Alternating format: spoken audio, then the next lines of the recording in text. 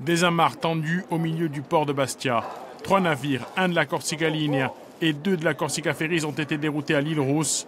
Le bateau, ici à quai, est censé appareiller à 20h pour Savonne. Au mieux, il partira en retard. La mobilisation des grévistes STC de la Méridionale va crescendo. Pour la reconduction de la grève. Bon, ben je, crois que ça fait pas débat. Je vous remercie à tous. Jusqu'à aujourd'hui, nous sommes entendus, puisque euh, une pétition qui est en ligne totalise plus de 5000 signatures. C'est que le message envoyé par les salariés euh, m'a, en tout cas, est, bien compris, qu'il y a du soutien. Il faut conserver ce soutien de, de l'opinion publique et de la population, parce qu'il serait euh, totalement inacceptable que la méridionale disparaisse par une erreur stratégique ou des mauvais choix.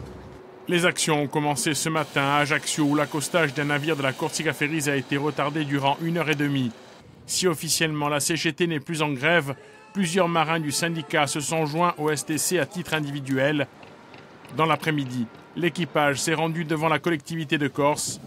À Ajaccio, la crainte est d'autant plus forte que la candidature de la méridionale n'est pas retenue par l'Office des transports.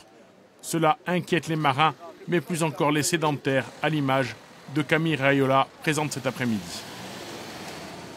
À l'agence d'Ajaccio, euh, nous sommes les premiers concernés puisque à l'heure actuelle nous ne sommes plus, euh, nous ne sommes pas retenus sur Ajaccio, hein, nous, euh, ne faisons plus partie des, négociations.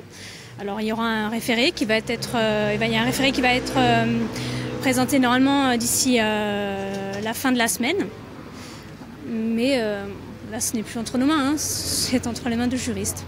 La mobilisation se poursuit sur terre comme ici à Bastia, mais surtout sur mer avec le retardement des bateaux des compagnies concurrentes.